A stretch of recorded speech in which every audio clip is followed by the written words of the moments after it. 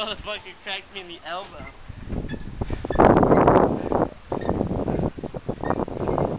Are you at least help me? Fuck no, you hit me with a fucking oar. What did I do to you?